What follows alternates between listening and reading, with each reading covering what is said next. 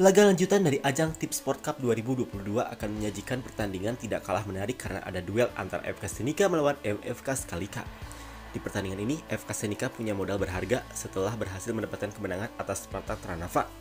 Kemenangan ini membawa FK Senika memuncaki klasemen sementara. Namun pada laga selanjutnya, FK Senika wajib tetap berhati-hati karena mereka harus tetap fokus di laga ini jika ingin meraih hasil maksimal kembali. Lawan yang mereka hadapi berada di peringkat terbawah, namun segala kemungkinan tetap saja bisa terjadi.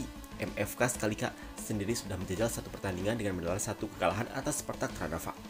Dengan begitu, FK Senika tetap harus bermain dengan hati-hati karena meskipun tim ini belum bisa memperlihatkan mendapatkan kemenangan, akan tetapi pada laga melawan Tranava mereka benar-benar merepotkan.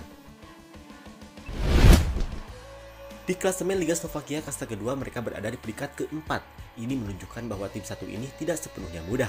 Namun, di kubu FK Senika sekarang memang lebih diunggulkan apalagi jika pada pertandingan ini mereka sudah benar-benar memantapkan terkait kedatangan dua pemain yang digadang-gadang akan menjadi andalan di masa depan FK Senika.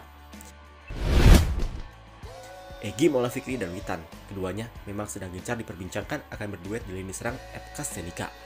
Kabar terkait hal itu gencar berhembus setelah FK Senika sudah mempunyai kontrak Egi Mola Fikri dan mereka juga mengunggah inisial W yang banyak diartikan itu adalah Witan jika saja kedua pemain ini benar-benar segera dipastikan kedatangannya. Dan tiba saat laga melawan MFK Skalika, tentu ini akan menjadi senjata yang sangat bagus bagi FK Senika. Publik pun memang sudah sangat menantikan duet ini. Terjadi di lini serang FK Senika dengan perpaduan Egi dan Witan. Sebagaimana diketahui duet ini paling gacor saat berada di timnas Indonesia juga.